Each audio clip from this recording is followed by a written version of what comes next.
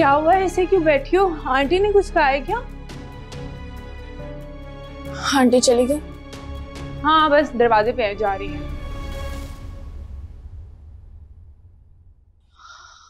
बहुत अजीब बातें कर रही थी। बहुत ज़्यादा गुस्से में थी। मुझे नहीं लगता कि वो इस शादी को किसी भी कीमत पे कबूल करेंगी। वैसे मुझे ना बहुत टेढ़ी खातून लगी हैं। तुम असलान भाई से क्यों नहीं बात करती? अरसलान से भी मैं कोई भी बात नहीं कर सकती। वो क्या सोचेगा कि अभी शादी हुई नहीं इसने मेरी मम्मी की शिकायतें लगाना शुरू कर दी। हाँ कह तो तुम ठीक रही हो। और अम्मी और अब्बी को भी बताया तो वो भी परेशान हो जाएँगे। तो फिर हमें क्या करना चाहिए? मुझे तो अरसलान के साथ ही रहना है। जब अरसलान मेरे साथ है तो हमें किसी की कोई फ़िक्र नहीं करनी चाहिए। वैसे भी आंटी के साथ कौन सा हमने रहना है?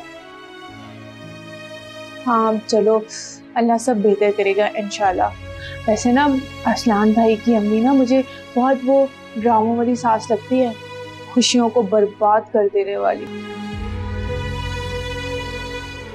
बहुत गुस्से में थी। अरसलान बता रहे थे कि अंकल के कोई दोस्त है उनकी बेटी से उसकी शादी करवाना चाहती थी। लेकिन बस मैं दरमियान में आ गई। तो वो छोटे वाले नमूने से करा देना। वैसे ना मैं तो उन्हें जब भी देखती हूँ ना मुझे वो स्टोर वाला किस्सा याद आ जाता है। अल्लाह माफ़ करे बहुत खून खान लगती है। और मैं तो उनसे आज भी नहीं मिली। तुम्हारी सास है तुम खुद ही भुगतो। शुभना वो मुझे शादी की शॉपिंग का कह रही थी। प्लीज़ तुम मेरे साथ चले जाना प्लीज़ देखो वो ना तुम्हें सिर्फ़ फॉर्मेलिटी के लिए लेकर जा रही हैं। उन्होंने खरीदना वही है जो उन्होंने पहले से सोचा हुआ और देखा हुआ तो तो क्या कहूँ? मना कर दूँ? नहीं नहीं नहीं नहीं। जाओ ज़रूर जाओ। लेकिन ना अपने कान खुले रखना और मुँह बंद रखना। और जो जो वो कहती जाए ना बस मानते जाना। अब देखो ज़िंदगी भर का साथ है। जितना जानोगे उतना ही अच्छा है ना?